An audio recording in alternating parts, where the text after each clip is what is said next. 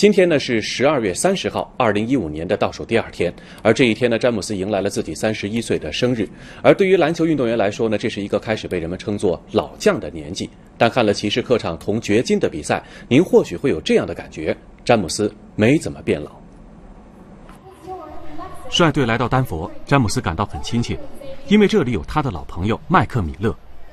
别看赛前和老友嬉笑寒暄，等到战斗开始后，詹姆斯就顾不上念旧了。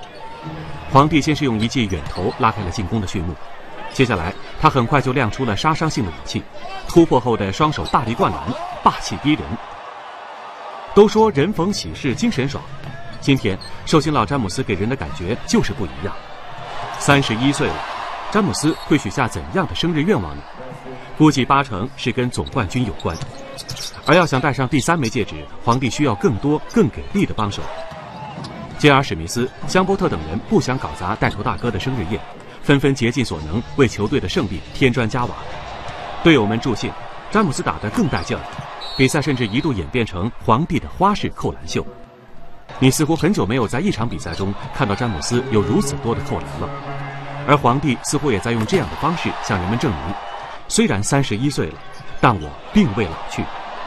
最终，骑士九十三比八十七轻取掘金，又一次迎来连胜。